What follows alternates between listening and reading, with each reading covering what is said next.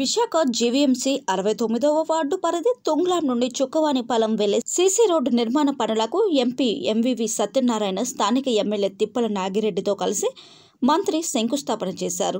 నలభై లక్షల జీవీఎంసీ నిధులతో రహదారి నిర్మాణం జరగనుంది.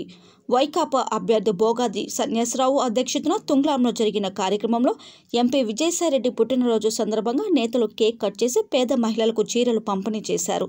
అభివృద్ధి సంక్షేమ కార్యక్రమాలు అమలు చేయడంలో ఎక్కడా రాజీ పడే ప్రసక్తి లేదని నేతలు అన్నారు. ప్రజల పట్ల నిబద్ధత ఉన్న సీఎం జగన్ నాయకత్వంలో పనిచేయడం అదృష్టంగా భావిస్తున్నామని చెప్పారు. నియోజకవర్గ అభివృద్ధికి సంపూర్ణ సహకారాన్ని అందిస్తామని మంత్రి ముత్తంశెట్టి హామీ ఇచ్చారు.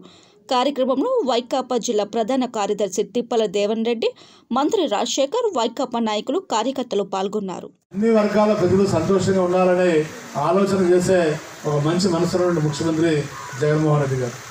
అలాగే మరి అన్ని ప్రాంతాలు అభివృద్ధి చెందాలని ఇందాక ఆమె చెప్పినట్టు మరి విశాఖపట్నం ఎగ్జిక్యూటివ్ క్యాపిటల్గా కానీ మరి విజయవాడ లెజిస్లేటివ్ క్యాపిటల్ కానీ అలాగే కర్నూలు జ్యుడిషియల్ కానీ అంటే రాయలసీమ కానీ కోస్తా కానీ ఉత్తరాంధ్ర కానీ ఈ మూడు ప్రాంతాలు అభివృద్ధి చెందాలి.